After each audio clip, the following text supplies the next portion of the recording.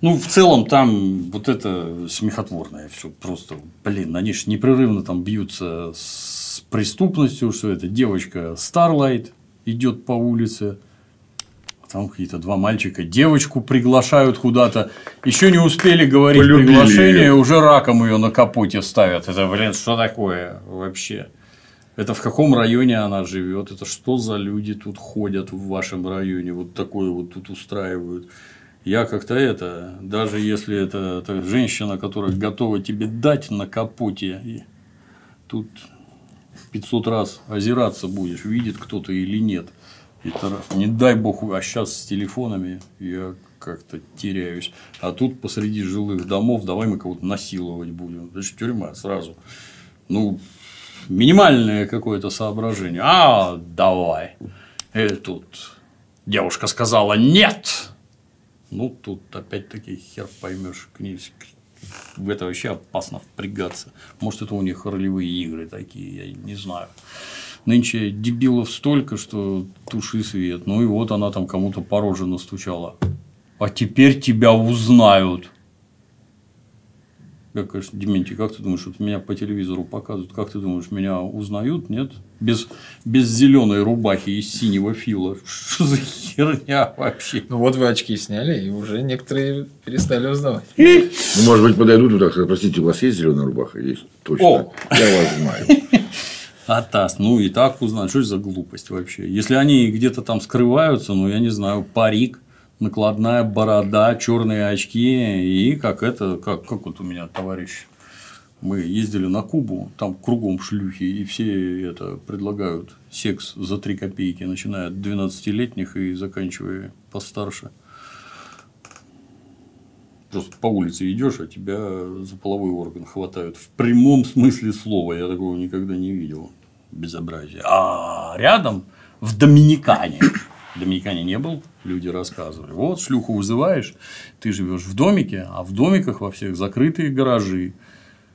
Приезжает машина, черная вся, естественно, с затонированными стеклами, или шлюхи в багажнике лежат, я не знаю.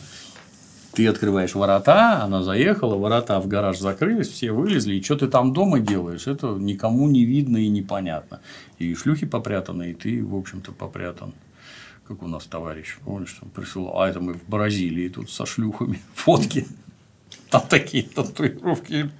Ну, он же без головы. Я говорю, конечно. А это никто не узнает. Да, блядь. Люди, русские люди. Вот.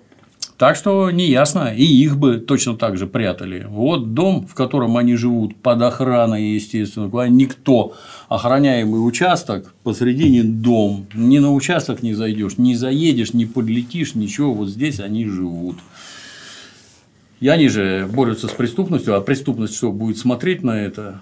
В преступности деньги зарабатывают, это ключевое, а вы мешаете зарабатывать деньги. Надо с вами что-то делать. И будут делать. И не только этому невидимке в жопу толовую шашку вставят, а всем по 10 вставят и взорвут. Денег у них хватит на любую херню абсолютно, подкупят кого угодно. А поэтому их надо от общества изолировать. И они бы жили в отдельной казарме, куда нельзя заходить.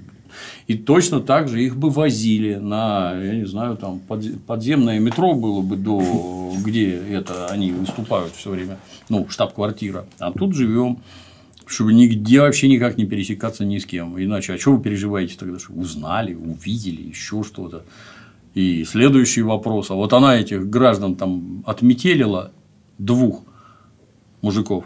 Баба сбежала. И это преподносится как какое-то вообще лютое нарушение закона. Какое нарушение закона? А когда она с эти, где там этот глубина там куда-то ныряла, а она там кого-то метелила и взрывала, а там она не так делает, да? Там было точно, что это были преступники, они залезли на склад. А какая прелесть. Я А тебе- вот здесь женщина опирает на то, что типа, а девушки-то на камерах-то и вообще нет. И ты, Мгм. получается, что просто отмутузил Мгм. каких-то двух ребят, Мгм. которые там, по их словам, распивали пиво. Ну, конечно, да, да. Ну, никто не служил, как ты понимаешь, блин. Слова полицейского, они, вы не поверите, имеют точно такую же силу, как и все остальное. Или не берите их на службу вообще, если вы им не верите. Есть, как оно, закон о полиции у нас, например, в рамках которого отдельным пунктом проходит, когда я служил, это называлось применение и использование оружия огнестрельного. Его можно применять, его можно использовать. Применяют это, когда стреляют по людям, а использовали это, когда стреляют по собакам, машинам там и всякое такое. И четко оговаривается, когда и в кого можно стрелять, что нельзя стрелять в детей, нельзя стрелять в беременных баб и прочее, и прочее. Стрелять. Где, я тебе рассказывал, есть замечательные положения, пункты о том, что как только оружие извлечено, любую попытку приблизиться к себе сотрудник воспринимает как попытку посягнуть на его жизнь из-за владения огнестрельным оружием, после чего может стрелять в тебя как хочет. Для многих открытие. Нельзя подходить к вооруженному сотруднику, это раз. Нельзя подходить, тем более, когда он вытащил пистолет, нельзя категорически. Он по закону он будет прав. То, что у нас такого не происходит, это вот только благодаря тому, какими нас советскими людьми когда-то вырастили, что нельзя в человека стрелять, у нас тут не Америка. Но зато, когда какая-нибудь овца бежит на ОМОНовца, а он ее легает ногой, тут, тут до неба, какое право он имел. Не знаю, я вот при исполнении, а ты на меня бежишь. Как ты, а вот у меня пистолет. Как, как ты думаешь, как я могу это трактовать? Вернемся. Но далеко не всегда и не во всех надо стрелять. Во все остальное время, кроме пистолета, у сотрудника есть специальные средства. То есть палка резиновая, баллончик с каким-нибудь этим слезоточивым газом, наручники и всякое такое. Как, вот как ты думаешь, э, при задержании надо ли человеку срочно прострелить голову? Я считаю, нас так учили. Его надо задержать, этого гражданина, и желательно при этом не покалечить. Для чего? А для того, чтобы он ответил перед законом. Полиция, она не для того, чтобы убивать, кого ей хочется, а для того, чтобы задержать установить личность, установить причастность, провести следствие и материалы следствия под руководством прокурора добро пожаловать в суд. И только суд определит вину. А тут ворвалось, а, полетел туда, а, полетел сюда. Я не знаю, там после таких ударов там башка-то вообще на месте останется или все оторвет. Это неправильно. Выглядит красиво, но как вы их так используете в полицейских операциях, для меня вообще загадка. Там же уже в прошлый раз, я, я уже не помню, но по идее это ж как копье. Вот, древко, а ты наконечник. Древко – это те, кто ведут оперативную следственную работу. Они ищут этих негодяев, внедряются в банды, вызнают планы, кто куда пойдет, кто что будет делать. И вот тогда, только как СОБР, например, они же э, это, не сильно оперативной работой заняты, ну, в таком в суровом понимании, они заняты физическими мероприятиями, задержаниями там, и прочее, и прочее. Потому что одну работу делают одни, а суровую, условно, спортивную работу делают совершенно другие. Потому что задержать там пятерых борцов греко-римского стиля, не знаю, у нас, помнишь, это как биржа, которая у московских ворот, помнишь? Да, да, да. Да, там, по-моему, вся грузинская олимпийская сборная по вольной борьбе.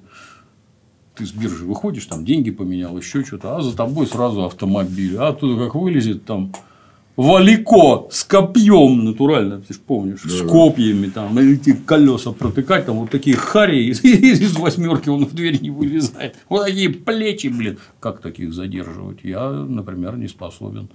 Для этого нужны специальные люди. Вот эта тетенька, она так и должна работать. Ее же наводит кто-то на склад, правильно? Она же не сама туда прилетела, кто-то наводит. Да, это было ее первое задание. Да, ну, будьте любезны соблюдать все нормы и правила, а не херачить там всех, чтобы везде лампы взорвались и 10 человек покалечил. Ну-ка не спей, блин! Да не сплю. Я за тобой слежу. Вот. Безобразная сцена.